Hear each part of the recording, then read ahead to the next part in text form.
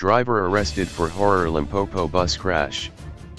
Polokwane, police in Westernburg outside Polokwane have arrested a bus driver involved in the fatal accident that claimed the lives of nine people.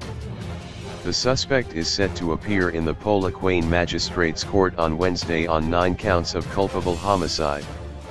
It is believed the driver tried to cross the border to Zimbabwe for medical treatment with 51 injured passengers.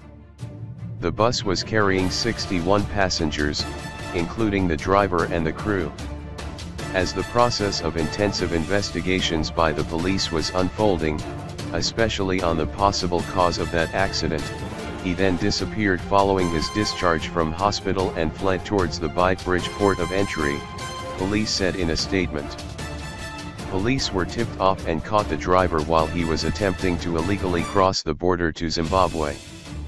Nine people died in the bus crash which occurred along the N1 South Road on September 21.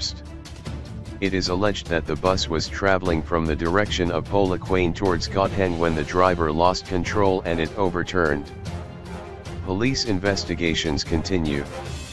Yeah.